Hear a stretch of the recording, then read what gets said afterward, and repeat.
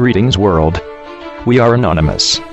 The IRS just declared war on Bitcoin retroactively.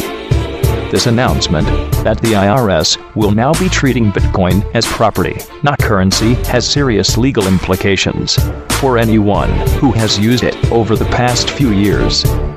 On March 25, 2014, the IRS issued a unilateral edict which instantly puts the entire US Bitcoin community in legal quandary. They are calling it virtual currency guidance.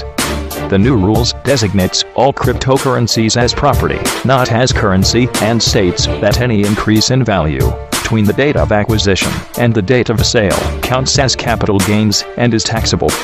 All payments using Bitcoin are subject to the same reporting requirements as normal payments, and Bitcoin mining is also now considered taxable income. Oh, and by the way, these new rules and penalties apply retroactively.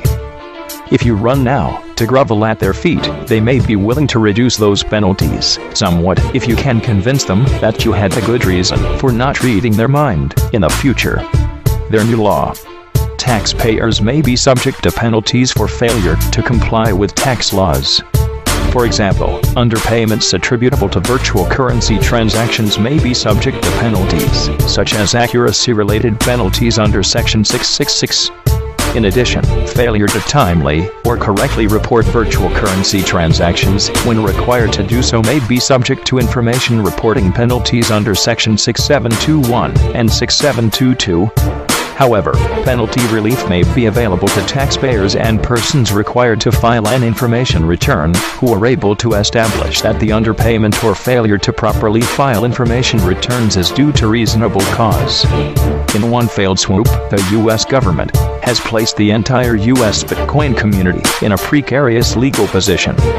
Much of the allure of the currency lies in the fact that it has been widely viewed as a way to bypass